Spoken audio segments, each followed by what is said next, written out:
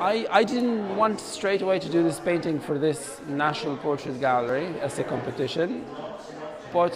when I um, met Pia, which is the name of the girl, and she's from Germany,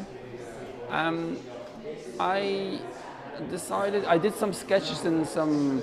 uh, drawings and start doing some photographs and to get some information. And then I thought then she looked already like a painting so um, I definitely thought that it would be a great idea to actually introduce um, this particular painting to um, the young people and to show them um, why I painted Pia. And the reason I painted Pia was this,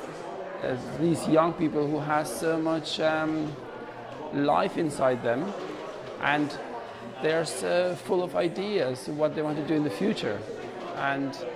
uh, and they have this opportunity to study today and to go in great colleges and, and to be free to, to do what they love.